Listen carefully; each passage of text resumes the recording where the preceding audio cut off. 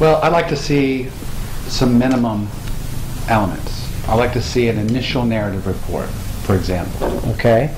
And that initial narrative report is going to cover minimum the patient subjective complaints, the history of the accident, Okay?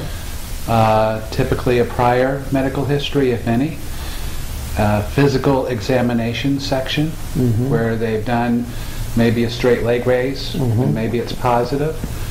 Um, You know, but basically, examination cervical, mid, lower spine, if those were the chief complaints. Mhm. I want to see physical examination section in that narrative report, and I want to see examination of those parts of the body, and I want to see maybe tenderness, muscle spasm, restricted range of motion, positive straight leg raise, those sort of things. So you want the, uh, you want it in a narrative format. You don't uh, appreciate it then when they just send you the, res- their copy of their exam findings. Does that sound right? Correct. I, I prefer, and I, I think I speak for most injury attorneys, we'd like to see an initial narrative report. Narrative, okay.